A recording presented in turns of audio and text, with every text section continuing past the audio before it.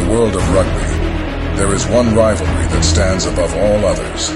A fierce and storied battle between the two greatest superpowers of the sport. The All Blacks and the Springboks, New Zealand and South Africa. A rivalry steeped in history and bound by a deep mutual respect.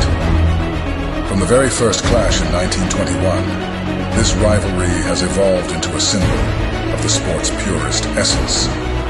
It's more than just a game. It's a reflection of the shared love for rugby and the enduring spirit of competition. These two nations have faced off with unmatched intensity, but the respect they share for each other's rugby prowess runs deep. As the rugby world eagerly anticipates the 2023 Rugby World Cup final, all eyes turn to this colossal showdown. The All Blacks, with their legacy of greatness, seek to reaffirm their status as the game's true masters. The Springboks, representing the strength and unity of the Rainbow Nation, yearn for another moment of glory.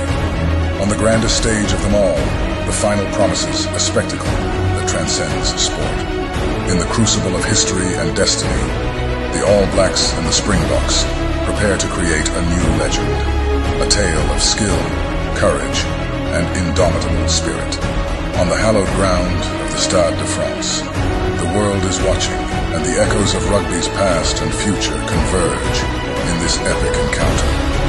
Heroes are forged, legends are born, and where, on this day, only one nation can emerge as the ultimate champion of the world.